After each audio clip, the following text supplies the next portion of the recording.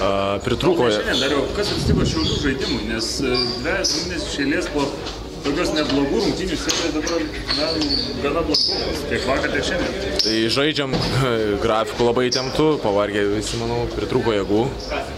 Šviežumo to ir jautėsi prieš varžovus, kad jie šviežesni yra.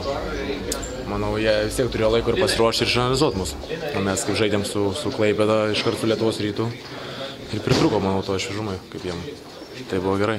Antros rungtynės iš eilės nepavyks apsiginti nuo varžovų tritaškių. Gynybą akcentavo šiek tiek kitaip. Ar...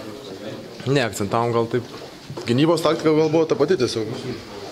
Pritrūko gal tokio, sakau, kaip iš šviežumo ne, nesugebėjom susiginti prieš šitos tolimus metimus.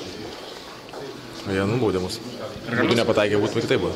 Ar galima sakyti, čia fizinio jėgų trūkumas, nes būtent gynyboje atrodo tarsi žaidžia ant stačių kojų, kaip sako krepšininkas. Buvo trūkumas jėgų, tai jis- akivaizdžiai matęs, tai ir visi ir žiūrovai, ir, ir, ir visi patys suprantam, kad pritrūko tų jėgų. Tai va. Būtų tas minėjo, kad e, šiauliams ruošis tik šiandien. Kaip jūs ten prieš turnyrą gal kažkiek žiūrėjote? Ne, mes prieš turnyrą nesižiūrėjom, nes turėjom labai įtemptą grafiką, savo kitas varžybas man nežinau.